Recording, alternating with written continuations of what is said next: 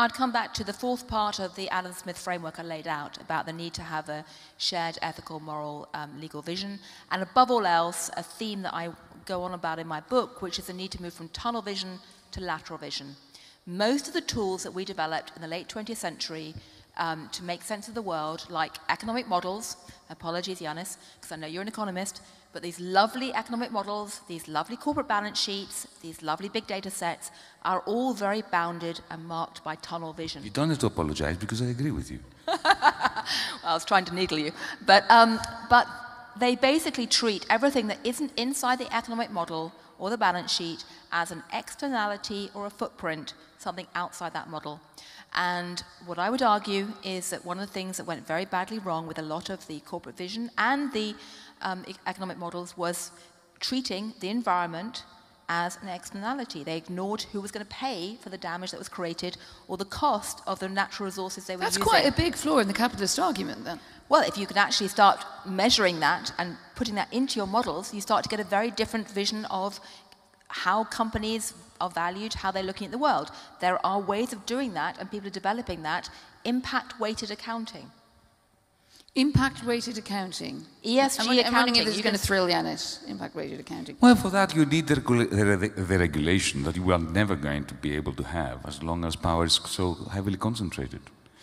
Um, look, let me give you an example because um, I didn't, s- we didn't manage to meet Anne this summer because uh, half of Greece Because burned- every, yeah, you just turned me down. No, because half of Greece burned down and I was going That's from... right. By the That way, you know... You, that you exactly is what happened, actually, in fairness, just to not to be... Trying, we being and too you mean. missed, you missed, you missed Yeah. an important part of my CV in these days. You know, I lead a political party in Greece. You presented me as if I'm an author and professor. I did. That, that's a previous You- life.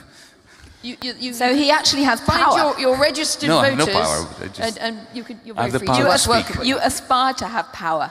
Yeah, but the reason why I mentioned the, the, the, the, the fires is because, look, speaking of green growth, okay, um, I also believe that in, in green growth, but I also believe in green degrowth. There are things that need to grow and things that need to degrow. Like we need less cement, less CO2, less of all the toxic derivatives, the, the toxic fumes, right? We need fewer of those things, fewer cars, whether they're electric or not, more public transport. Uh, but going back to the forest fires in Greece this summer.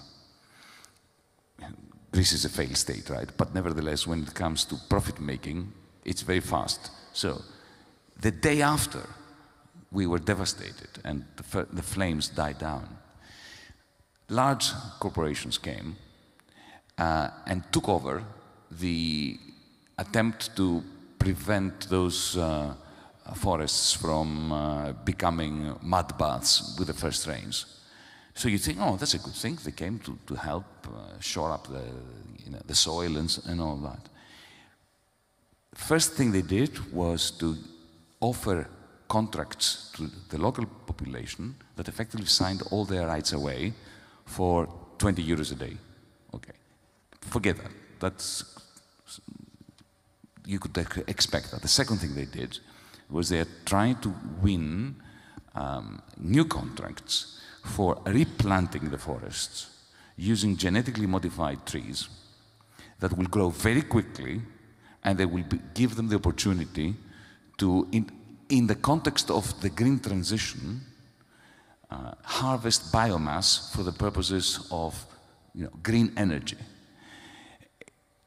If we allow them to do this, you're going to have, under the cover of green growth, you're going to have the devastation of the flora and the fauna of the land, and the conversion of these areas in Evia and so on into fiefdoms of Monsanto Bayer, who will have genetically poisoned the land while making it very green. Now, is this the green growth that we want? This is the green growth that this market-based system, not because it's a market, but because it's, Monsanto is not a market. Okay, they are a come back. toxic monolith. There are ex- numerous examples of greenwashing. There's numerous examples of companies and financiers using the green label to do all kinds of egregious things. That I would completely agree with. However, one of the other reasons I believe in competition is that I believe in checks and balances. And I don't think we can sit there and trust government alone to turn us green. When back in the 1970s, when Milton Friedman developed his vision of shareholder capitalism, which I do not agree with, there were two things that were very different. One, back then, people thought that they could outsource the really difficult decisions in life, the social stuff, to governments, and companies just worried about their balance sheets. And secondly, you did not have radical transparency, and most people did not know what was actually happening inside companies. Today, we have a world where no one actually trusts the government to get stuff done, and we have a world where all of you have cell phones with extraordinary levels of access to information if you choose, and many aspects of corporate life are subject to radical transparency. The reason that you know so quickly about what was happening in those forests is precisely because of this radical transparency. So I come back to the point. It's not an either or. We don't need government or companies to be green or NGOs.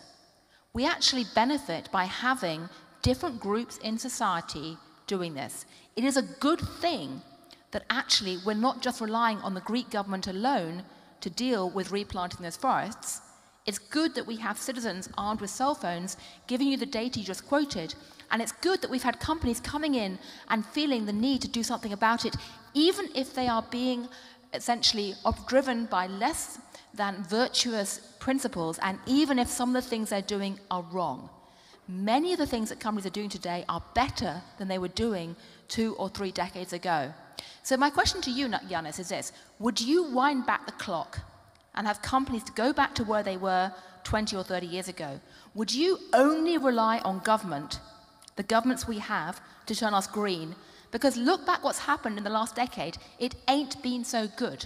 One of the reasons why companies, why governments are under pressure to come to COP26 and do something is partly because there is a shift in zeitgeist amongst investors and businesses that reflects social shifts that comes back to radical transparency.